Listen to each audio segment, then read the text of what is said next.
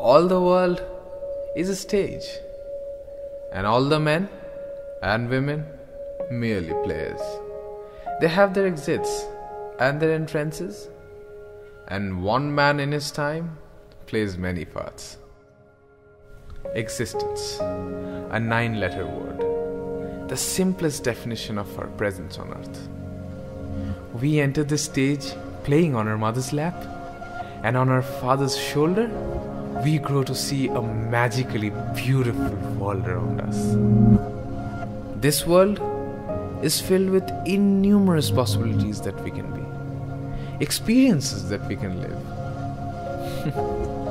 and smiles that we can bring. Life takes us through a roller coaster ride of emotions. We do a lot of things as we. Some we love to do, and some we don't. Some we do to see a smile on others' face, and some to smile ourselves. Some things we do for pride, and some for dignity.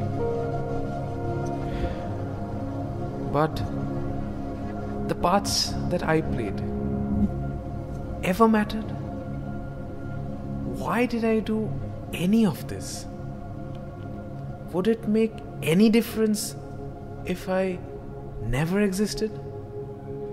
What is the purpose of my existence? If I did not exist, maybe this wrapper would never see a dustbin. Would anybody feed this dog? Who would have made him smile? Would this man ever be able to reach the other side of the road? Maybe he would just sleep hungry tonight.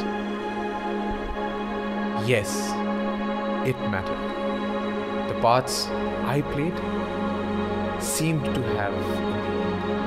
I was doing what I was sent to do to make the world more beautiful, to spread love and share smiles, to bring meaning to the seven letter mere word purpose, to make my existence purposeful, and to be the hero of my play. If all the world's a stage, you know what I mean.